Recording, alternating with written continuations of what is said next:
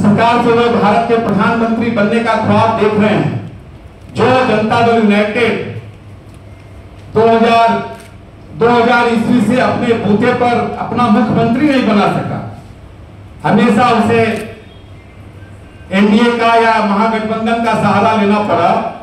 और वो दल जब प्रधानमंत्री बनने का बात, की बात करता हो तो आप समझ सकते हैं कि कि वो किस प्रकार से मुंगेरी लाल के हसीन सपने को देख रहे हैं? एक दो आरोप के आधार पर उन्होंने सरकार से एनडीए से अलग होने का अचानक निर्णय लिया।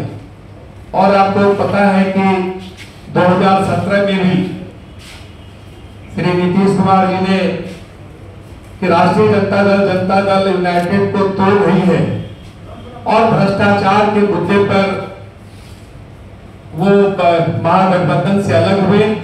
और फिर भारतीय जनता पार्टी के साथ सरकार हम सब मिलकर बनाए।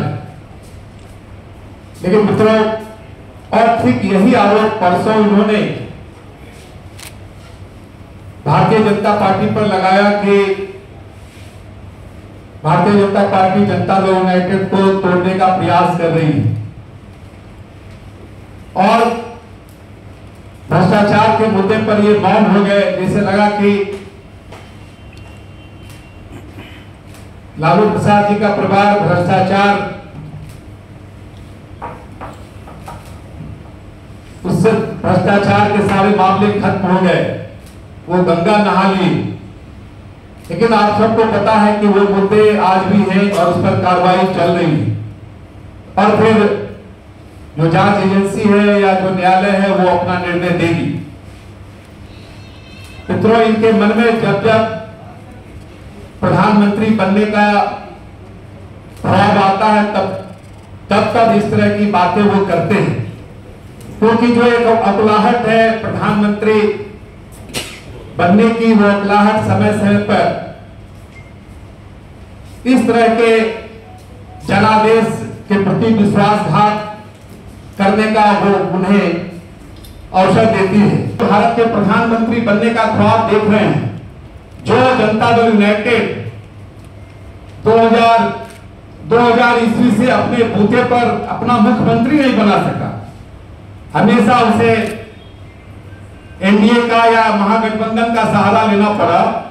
और वो दल जब प्रधानमंत्री बनने का बात की बात करता हो तो आप समझ सकते हैं कि कि वो किस प्रकार से मुंगेरी लाल के हसीन सपने को देख रहे हैं। और जहाँ तक श्री ललन सिंह जी ने कहा कि भारतीय जनता पार्टी ने जनता दल यूनाइटेड को कमज़ोर करने का काम किया।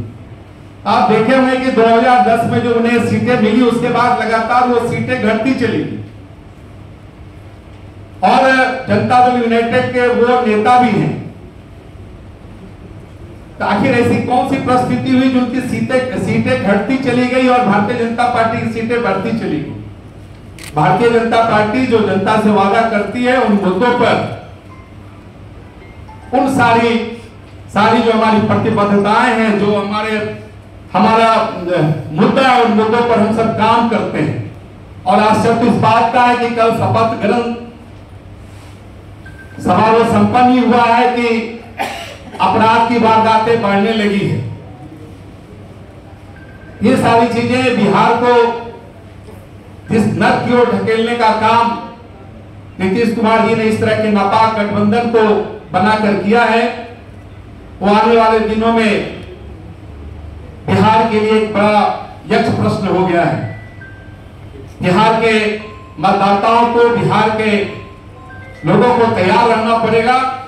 आने वाले दिनों में जब चुनाव होंगे तो किस प्रकार से इस पलटू राम को पलटने का काम करेंगे। ये बिहार की जनता के मन में जो ये आक्रोश है, वो धीरे धीरे ये आक्रोश 2024 में और 2025 में निकली। देशवा न्यूज़ पर वीडियो देखने के लिए लाइक करें, सब्सक्राइब करें। साथ ही बेल आइकन दबाना न भूलें।